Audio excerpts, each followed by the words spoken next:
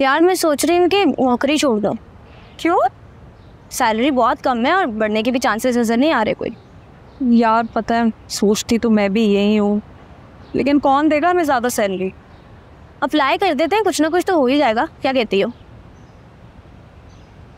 कौन रखेगा हमें नौकरी पे? ट्राई करने में क्या हर्ज है? कर लेते हैं एक बार। आ, यार उसके लिए भी रेफरेंस चाहिए होता है। देखो हमारा एक्सपीरियंस तो बहुत अच्छा है और फिर हम इतनी मेहनत भी करते हैं। इतना तो है अब क्या कर सकते हैं और? मेहनत की कदर नहीं रही है। अब ऐसा भी नहीं है।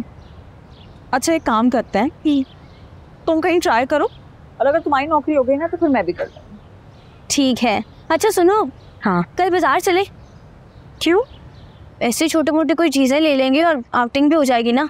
पागल तो नहीं हो गई हो? बहुत खर्चा हो जाएगा। अरे अरे ऐसा क्यों कह रही हो? इतनी मेहनत करते हैं हम दो चार हज़ार अपने ऊपर लगा लेंगे कुछ नहीं होने वाला। तुम चल रही हो मेरे साथ। यार तुम वैसे कह तो सही रही हो। मुझे भी कुछ ढंग के कपड़े लेने हैं। और कुछ पैसे भी बचा के रखे हैं मैंने। तो फिर चलते हैं ना कल? दो बजे के करीब चलेंगे सही है? सही है। चलो अपना ख्याल रखो अल्लाह हाफिज़।